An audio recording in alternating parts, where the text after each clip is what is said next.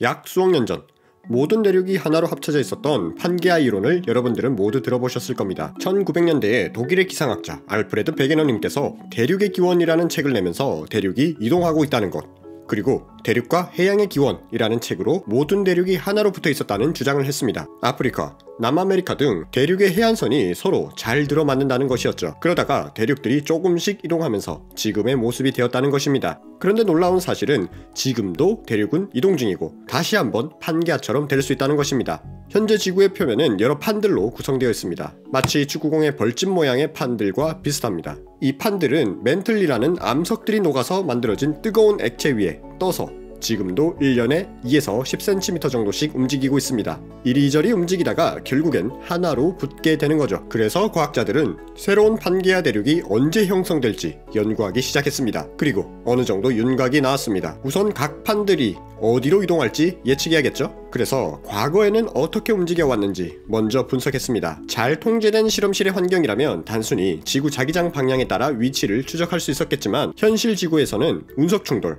화산 폭발, 지진 이런 여러 가지 천재지변이 있어서 추적하기가 어렵습니다. 그래서 화석의 탄소 연대 측정을 활용해서 대륙 곳곳에 퍼져 있는 화석들이 만들어진 시기를 비교하기 시작했죠. 판들이 이동하고 지진이나 화산 폭발이 일어나서 단절이 되어도 같은 시기의 화석인지 알 수 있거든요. 이렇게 해서 수억 년간의 데이터를 확보했습니다. 그리고 이 데이터로 만들어진 이론을 윌슨 사이클 이론이라고 합니다. 맨틀의 움직임으로 지각판도 같이 움직이면서 이 판들이 아래쪽으로 말려 들어가기도 하고 위로 올라오기도 하면서 지각판들이 이리저리 이동했다가 합쳐졌다가를 반복한다는 이론입니다. 그리고 이 윌슨 사이클 이론으로 분석해본 결과 약 5천만 년에서 2억 5천만 년 뒤에 모든 대륙들이 하나로 합쳐진다고 합니다.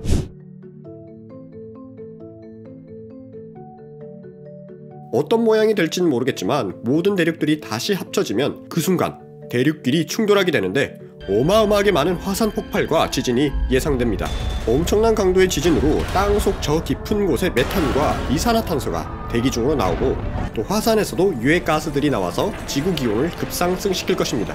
그렇게 되면 지구는 더 이상 생명체가 살기 어려울 것입니다. 하지만 그때는 대부분 화성을 넘어서 태양계 바깥 행성으로 이주했겠죠? 여러분들은 어떤 행성으로 이주하고 싶으신가요? 여러분들이 알고 있는 행성 댓글로 많이 남겨주시길 바랍니다. 그럼 저는 다음 영상에서 더 재미난 이야기로 돌아오도록 하겠습니다.